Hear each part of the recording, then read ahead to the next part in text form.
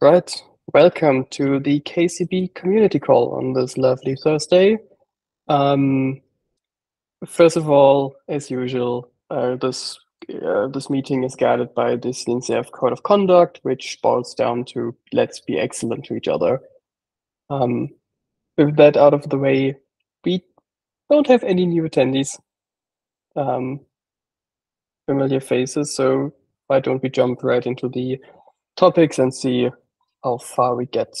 Um, SIG multi-cluster community call. I'm not sure who added this. I did. So I did on call with James today. So he showed me his work, and he will present that uh, next week on Tuesday. I think it's six thirty our time or something in the evening.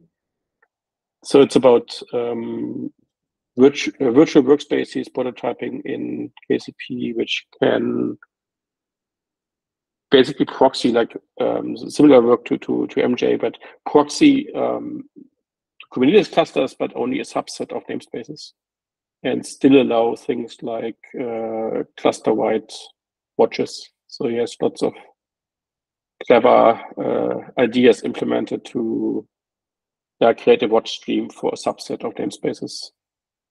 So this fits very well to MJ's work, and uh, it's another example where we might want mount support and support such a case. That sounds yeah, pretty cool. Just an invite for Tuesday to join and see what he has done. Mm, let's see if we can. It's on Tuesday, and the README says 9:30 Pacific time. Okay. Yeah. Oh quickly edit.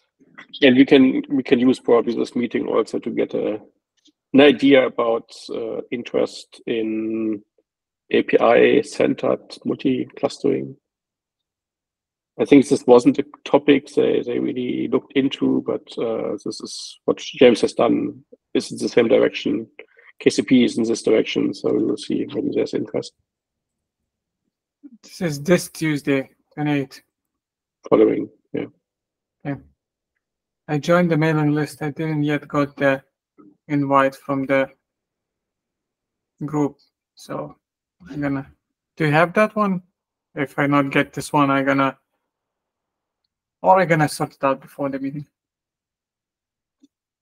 Cool. I, I think it takes up to a day when you join a hmm. mailing list to get the invite. Okay. Okay, that, that sounds pretty cool. It's it's using the Mounts API. Is it, Stefan? Uh, not yet. It's it's a okay. virtual workspace prototype with our code. Ah, okay. Uh, it can also run standalone, so it's not clear uh, which internal use case they have. But um, yeah, it's a virtual workspace, and it's pretty obvious how to how to use mounts with that. And yeah, there, there, are some some some details which might be interesting, like how can you configure which namespaces can be seen, and um, this is something to yeah to discuss. Maybe yeah, good. Routing is done at the front proxy layer still. Routing to the workspace, yes.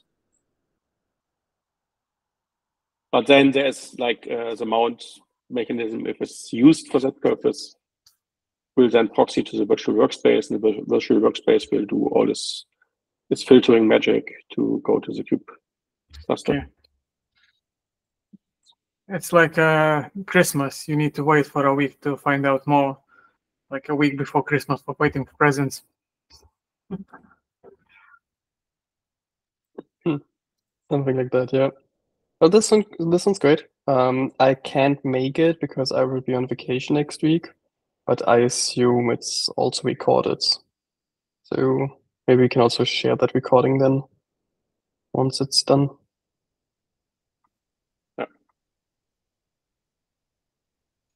Cool, cool. Okay, should we move on to the next topic? Yeah, that's the mine one. So I was so excited about Stefan's PRs in a cube core with a generic control plane.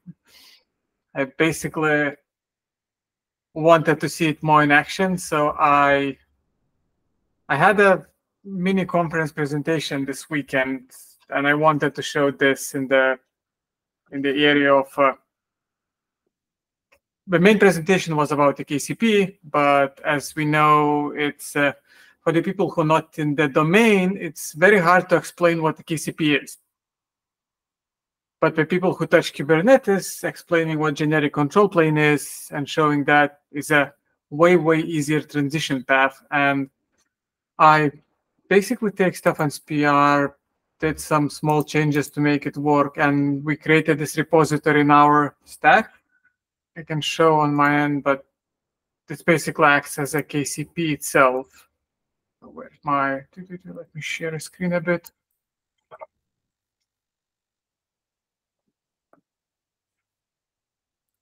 So it's same pattern as in our KCP repository, make to build it and start basically with embedded etcd kubeconfig kcp admin kubeconfig.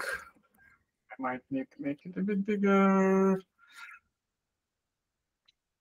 And you can do the same, all the stuff, what you can do with a Kubernetes. So we discussed that we still want to do some uh, code sharing for uh, API aggregation example, some other things. But I think it's a quite nice, quite nice middle ground for uh, between Kubernetes and KCP. And to be honest, during the presentation, I found quite way, way easier to transfer the message for the people showing this, like a sh short demo at the beginning of the talk, launching this, showing that you can create the service account, config maps, and that's it. Single binary doing all these things. And I think it clicks way, way easier. And after that, you move to KCP. So, so I think it's a it's a nice transition and message delivery way for this for the future uses. So idea is to to keep some kind of opinionated way of generic control plane within KCP umbrella and basically maintain it for the people who don't need multi-tenancy. So just that, just wanted to share this out. I mean, basically, it's a great way because we can start with, okay, this is the control plane for APIs, and you don't need to basically say, hey, this is Kubernetes, but now you need to think about Kubernetes differently because it's not containers. So yeah, yeah good starting point. And as I said, um, the message was way, well, way more better received and easier to received when you start with this and span out to workspaces. Yep, makes sense. Glad to hear that it went well.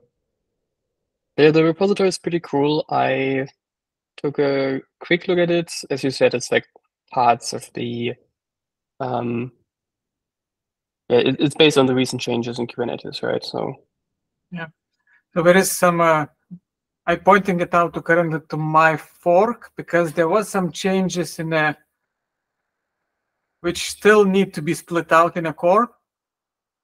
Like some controllers are running in the places where they shouldn't. I think that's a follow-up stuff we're gonna need to deal in a in upstream down the line yeah, any any PR welcome in upstream to make this possible. I think yours needs to get merged in the one generic control plane endpoints. Okay. So once they get in, we can start thinking like they will be built up on top of the ones, or we can try to split it out too. Can, one second, I can find the main code print. I can show you on the screen.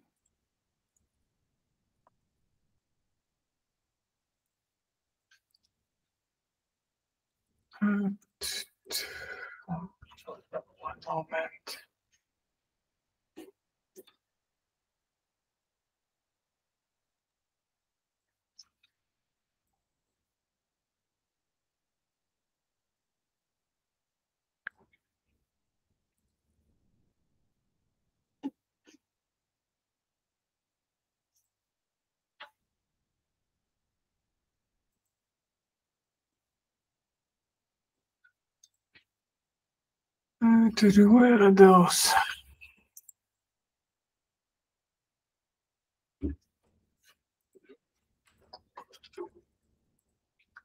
Yeah, I'm struggling to find the right commit. We can.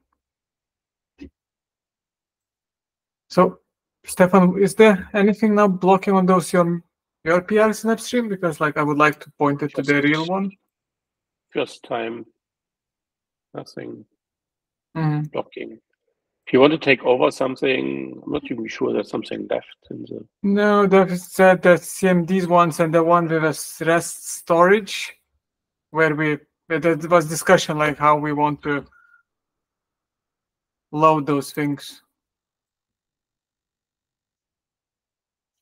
or about the uh, I remember like this ordering problem, right? Mhm. You want to enable, disable stuff, but keep the ordering, something like that. Yeah. Here we go. I found the the link. Marvin, if you can open this one. Sure, one second. Here we go. So basically, Cube aggregation server uses services and endpoints basically as a separate controller, which needs to be either disabled or moved somewhere. But I think that's the only thing which currently in a core, which prevents a hard split. Because at the moment you just commented this out. Yeah. Okay. Just because like we don't have even even services or endpoints in a generic control plane, so we don't need it. But so yeah. Yeah, so if you i- i- if you can extract those changes, small changes, so my PR is still pretty big, I think. So anything which is smaller and can be merged easily or reviewed easily, please do. Yeah, I'm gonna try to find some time, maybe this weekend or next week. Still need to get back to that context PR. too. I think it's the same constraints. Time in a day is a limited.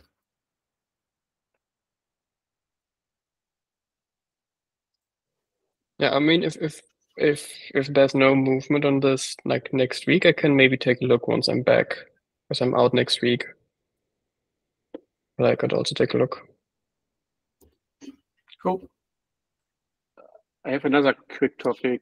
Marvin, maybe you know the, the rebase. Where are we? Is anybody working on it? Um, I don't have any details. I talked to Nabarun earlier this week, and he said that he was getting back to it. I haven't Okay. checked in. Oh, no, actually, that was last week. um, Yeah, maybe- flies. Maybe worth to, to ping in the thread to get an update. Yeah, yeah. I I was hoping he would join today so we could do a quick update. But yeah, I think it makes sense to gently bump the thread and and see where we're at.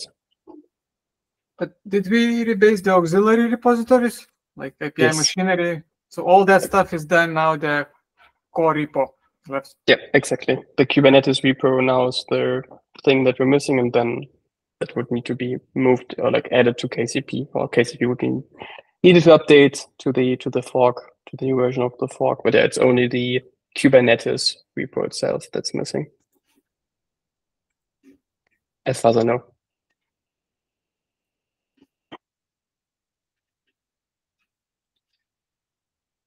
Nice. Say quite nice.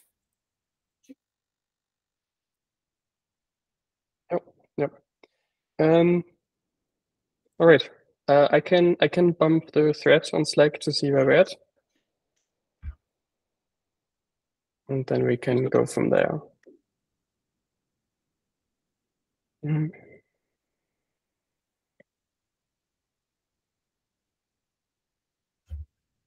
Just a reminder, a week and a bit. I think week and a bit left for the KubeCon US talk submissions. Time flies. Yeah. Does Does anyone plan to hand something in related to KCP? Or oh, if you don't want to give away on recording, that's fine too. Let's take it asynchronous. Sounds good. Okay. Do we have anything else at the moment? Don't think so. Just quick glimpse if we have any issues. No, nothing much new from from my side either that isn't on the agenda. No, nothing, nothing new in the issues front too. No. Okay, then, unless someone has something for the any other business section, I think we're done with a quick round today. So have a great afternoon, evening, and talk to you all soon. Bye bye. See you. Cool. See ya. Oh,